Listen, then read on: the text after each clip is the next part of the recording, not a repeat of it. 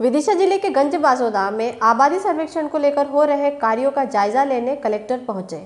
विदिशा ज़िले के कलेक्टर पंकज जैन ने त्योदा क्षेत्र के कई ग्रामों का दौरा कर आवश्यक दिशा निर्देश दिए। इसके उपरांत नवीन कृषि मंडी परिसर पहुंचकर पूरे परिसर का निरीक्षण किया।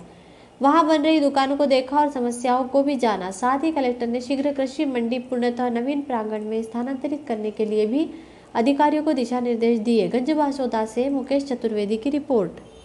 गंज आज चौंदा क्षेत्र में जाना हुआ था। वहाँ स्वामित्व सर्वे जो चल रहा है उसको देखने के लिए दूसरा एक विषय बहुत लंबे समय से आ रहा है विदिशा में मंडी की और उस विषय में व्यापारियों से चर्चा की गई है और उनको आग्रह किया गया है कि बेहतर बासौदा के विकास के लिए मंडी शिफ्टिंग में अपना पूरा योगदान दें।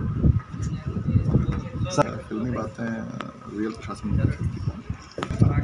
स्थानीय जनों ने वहाँ पूर्ण सहयोग किया। यहाँ भी स्थानीय जनों से सहयोग की अपेक्षा लेकिन सर ऐसी कोई स्थानीय जनों ने वहाँ पूर्ण सहयोग किया। यहाँ भी स्थानीय जनों के साथ स्थानीय हमारे प्रेसिडेंट साहब चर्चा कर रहे हैं।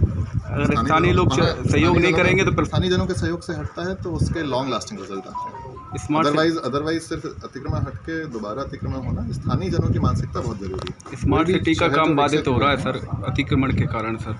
मुख्यमंत्री जी की मंशा को इसको सामने हेलो फ्रेंड्स आप देख रहे हैं हमारा channel S W twenty four news हमारे सारे वीडियो सबसे पहले देखने के लिए आप हमारे चैनल को सब्सक्राइब करें और पास में लगे बेल आइकन को दबाना बिल्कुल भी ना भूलें।